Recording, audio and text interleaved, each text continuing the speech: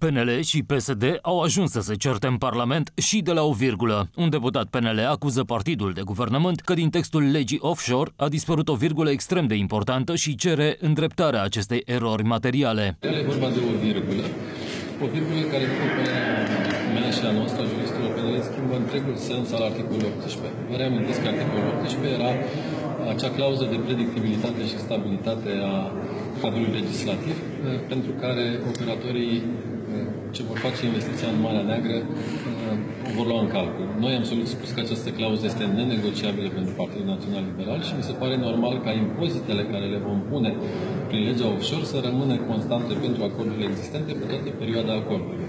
Parlamentarul PNL cere ca articolul 18 să aibă următorul conținut. Titularilor de acorduri petroliere referitoare la perimetre petroliere offshore aflate în curs de executare la data intrării în vigoare a prezentei legi, li se aplică pe toată perioada derulării acestora nivelul de redevență, cotele procentuale de redevență petrolieră, pragurile de producție brută aferente acestor cote și regimul fiscal specific aplicabil activităților de exploatare, dezvoltare, exploatare și abandonare desfășurate în baza acordurilor existente la data intrării în vigoare a prezentei legi.